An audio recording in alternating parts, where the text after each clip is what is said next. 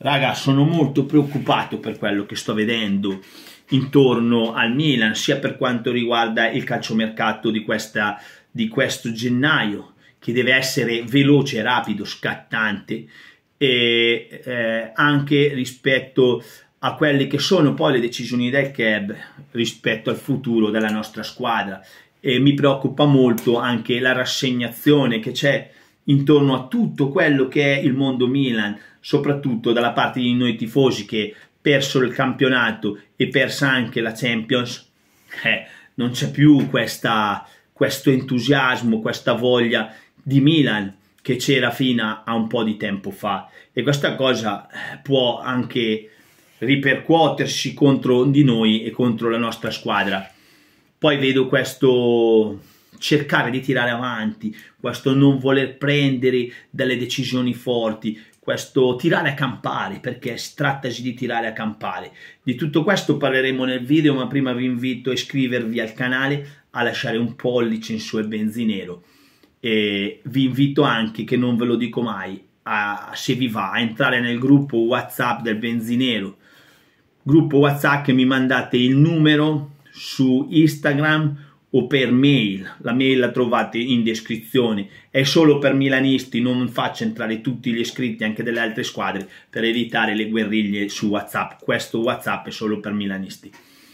Perché sono preoccupato del mercato? Perché e, e soprattutto della partita di, di venerdì contro il Sassuolo, perché il Milan si presenta contro il Sassuolo che già di per sé è una nostra bestia nera con Kier Pellegrino e Simic. Poi sappiamo tutti che 90 su 100 quel fenomeno di allenatore che abbiamo non punterà su Simic ma ti sbatterà dentro un Teo Hernandez così a cazzo a fare il centrale di difesa perdendo poi il nostro terzino di spinta che è, è, ormai abbiamo capito che è un'assurdità una roba del genere però a lui piace. Va bene così per carità. Le, le decisioni del mister oggi non voglio neanche più discuterle, tanto abbiamo già visto quello che ha dato. A oggi, siamo fuori dalla Champions e anche dal campionato. E questa è una situazione preoccupante visto che Kier è uno che, su cui non puoi contare, ma soprattutto è preoccupante perché il Milan perde i due difensori centrali titolari, cioè è quello che io dico alla società stiamo, abbiamo perso per almeno due mesi i difensori centrali titolari.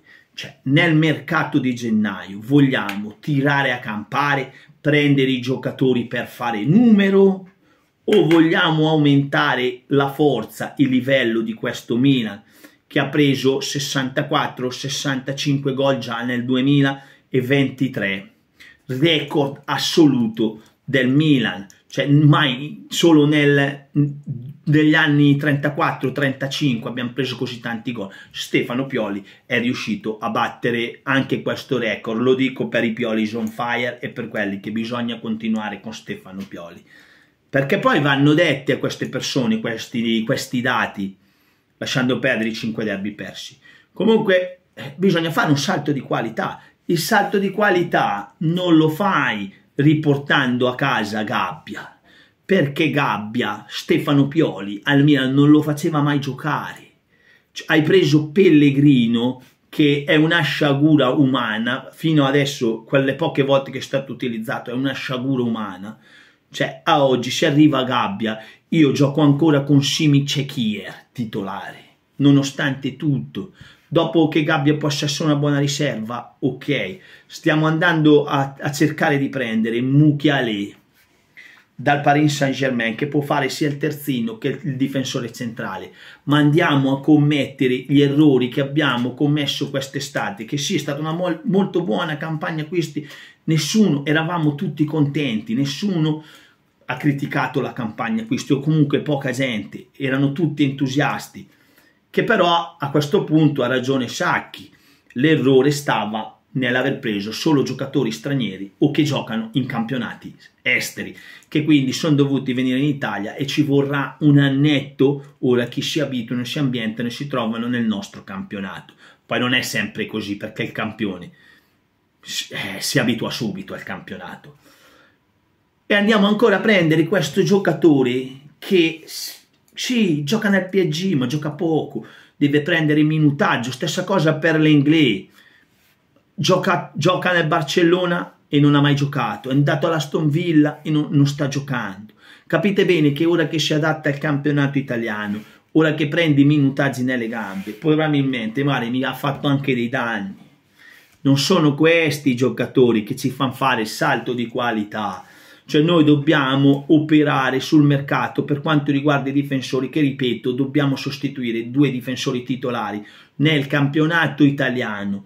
Costano mi devi dimostrare gran testa di cazzo di un cardinale che hai i coglioni e che non parli solo di vittorie perché ripeto il tuo calciomercato l'anno scorso è stato finanziato da tonali, nonostante avessimo in, incassato più di 100 milioni dalla semifinale di Champions, da tutto il percorso Champions e campionato e il tuo vero budget è stato di 47 milioni, di meno dell'anno prima che non avevamo incassato così tanti soldi. Quindi tu il mercato in realtà l'hai fatto con le cessioni, io non sono scemo come altri che ti osannano ogni 3x2, io non sono scemo, i calcoli li so fare. Quindi adesso mi devi dimostrare di che pasta sei fatto, perché al Milan, te lo dico subito, chi serve. Vuoi portare Gabbia? Va bene, c'hai Simic, Pellegrino e Chia, ma poi devi prendere un buongiorno del Torino. Buongiorno del Torino è un giovane italiano che in difesa sta andando forte, sta diventando un top, il salto di qualità lo fa se viene in una grande squadra. Costa 25 milioni, 30 milioni, chi se ne fotte? Chi se ne fotte? Te lo prendi e lo paghi. Punto. A me non sono un economo, non me ne fotte un cazzo. Però prendi un giocatore che non si deve adattare, si deve solo adattare un attimino a Pioli. È italiano, non deve imparare la lingua e tu hai messo un difensore forte in difesa. Prendi questi qua, sì, sì, Mucchialè, va bene, gioca nel PSG, magari è forte ma si deve adattare. Buongiorno c'è. Se non lo prendi, se vai a prendere questa gente qua in prestito, è perché sei un sacco di merda. Te lo dico io, tu sei un sacco di merda se vai a prendere questi giocatori qua. Ma tu non puoi pensare che passiamo da Tomori e Ciao a Kier e Gabbia, perché già con Tomori e Ciao abbiamo fatto cagare fino adesso con chi Gabbia faremo ancora più cagare e arriviamo, e arriviamo ottavi in campionato, non quarti, ottavi. Perché poi con questo mercato qua, manco se arriva il mago Udini riesce a fare meglio. Il capitolo Guaressi, vi dico raga, non è più la priorità per me in questo momento. Adesso noi dobbiamo prendere due difensori che devono giocare titolari, e anche un centrocampista che sostituisce bene perché sappiamo la molteplicità dei problemi che ha il Milan. Se arriva Guaressi va bene, perché quando arriva l'Europa League serve un attaccante in più, l'abbiamo già detto tutta stagione.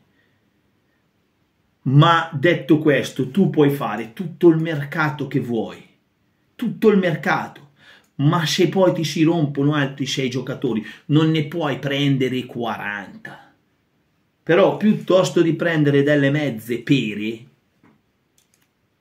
prendiamo dei giocatori, facciamo giocare quella primavera, affondare per affondare, a fondo con la primavera.